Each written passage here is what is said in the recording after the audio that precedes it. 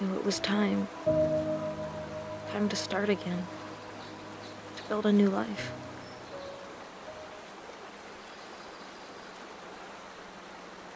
It was so obvious.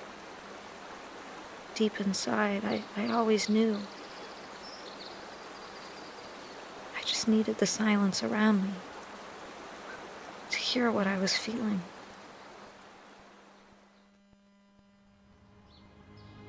I told Ryan I couldn't see my future with him. We've been through too many difficult times together. Times I want to forget. He said he understood. That he'd wait as long as it takes. I know I felt something for him. It just wasn't strong enough.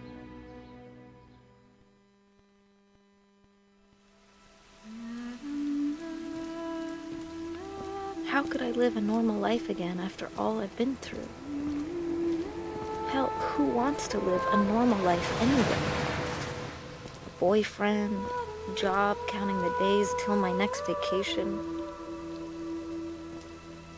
I wanted it for so long, but I finally realized that that life wasn't for me. So I took to the road. I've seen many rifts to the other side, hundreds of them all over the country. Homes where strange things happen, motel rooms that no one ever wants to sleep in again. Entities are all around us. They live in our houses, sleep in our beds. They're with us every second of every day. I know they're lurking in the shadows.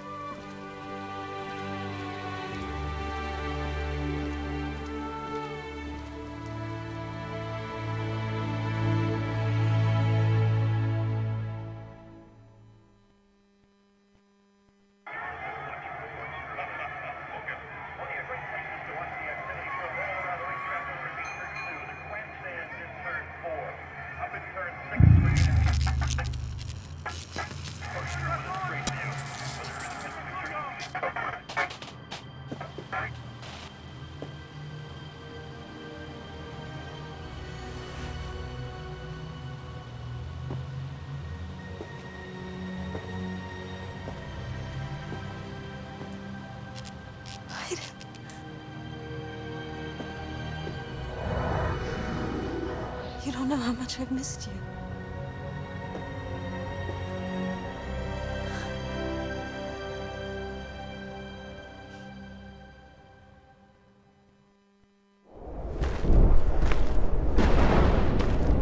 I see things at night.